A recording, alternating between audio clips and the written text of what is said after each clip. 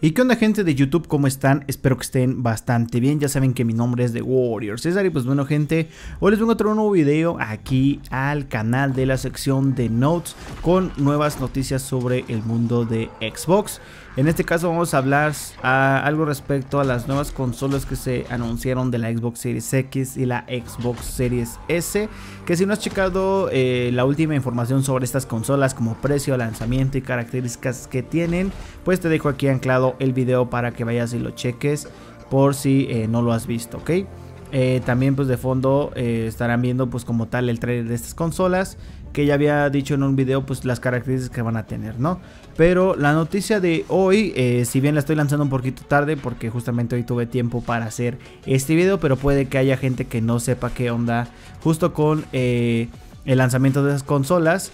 Eh, muchos se les hizo raro que se lanzara una Xbox Series S de 1 terabyte en color blanco cuando ya teníamos la versión en Carbon Black, la consola en color negro, ¿no? Muchos decían, ¿para qué quieren eh, otra consola en de un terabyte? Nada más cambia pues el color. Pero lo que no sabían es que Microsoft ya anunció que solamente este año van a estar haciendo consolas de Carbon Black. Y al, para finales del 24 prácticamente la producción ya va a estar parada en total. Y también se está rumoreando que para la versión de 512 GB que es la primera versión de la Xbox Series S que salió en el 2020, también va a parar su respectiva producción. En este caso, ¿qué va a pasar? Eh, se va a quedar como digital la Xbox Series X eh, Robot White, la que anunciaron recientemente que se está viendo de fondo en este video. Y también se va a quedar la Xbox Series S de 1 terabyte en color blanco Robot White, ¿no?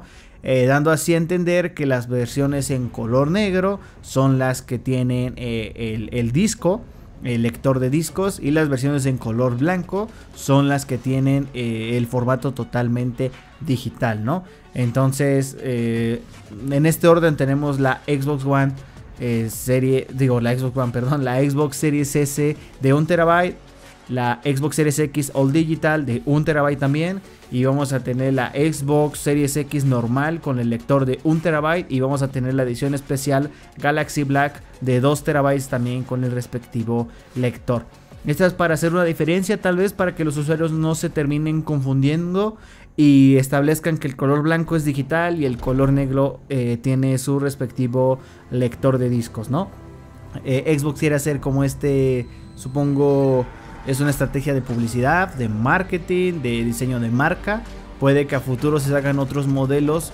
Eh, los que sean digitales van a ser en color blanco y los que sean con color este, en negro van a ser porque tienen el lector de discos, ¿no?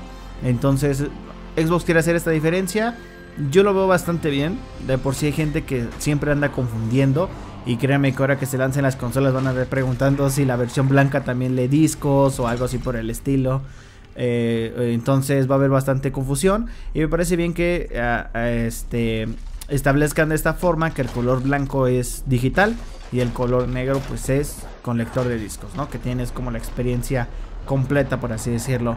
Aunque esto, pues bueno, puede diferir un poco para futuro con ediciones eh, o versiones, ediciones especiales, ¿no? A lo mejor sacan después una versión de Gears eh, eh, totalmente digital, supongamos, o sacan con lector y ya no va a establecer las mismas reglas, ¿no? La única versión de edición limitada que tenemos es la de Halo Infinite y salió con lo más top, que es pues un terabyte en ese entonces y el acabados muy bonitos en la carcasa y también pues el, respectivo lector de discos, ¿no? Pero puede haber que después lancen ediciones especiales donde solamente sea totalmente digital, ¿no? Entonces eso ya lo veremos a futuro, a ver qué hace de estrategia Microsoft. Espero les haya gustado esta noticia bastante rápida y si llego a tener actualización sobre los precios, preventa y otras cosas sobre las nuevas consolas que se van a lanzar, eh, síganme a través de mis redes sociales que dejaré aquí abajo como Instagram, Facebook, X, entre otras. También los invito a que se suscriban, que comenten qué tal les pareció este video.